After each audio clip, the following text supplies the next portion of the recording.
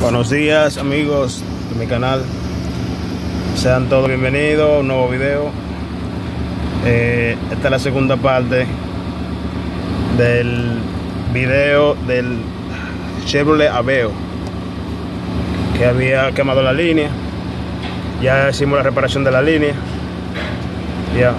El, la línea que estaba en corto era la misma que alimentaba el motor de limpia parabrisas.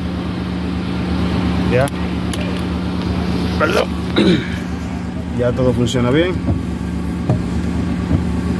Ya reparamos la línea.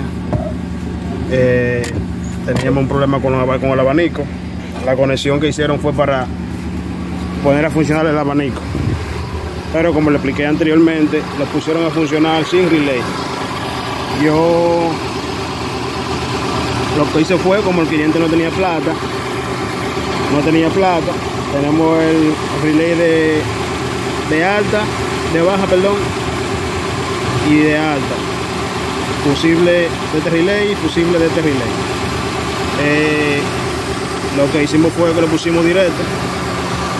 No sé si pueden escuchar.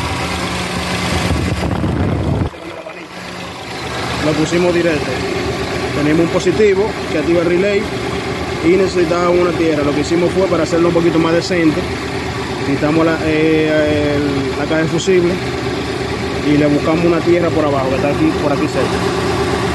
Buscamos la línea en continuidad con el multímetro y conseguimos la línea por abajo, la jumpeamos con un alambre y le llevamos a tierra.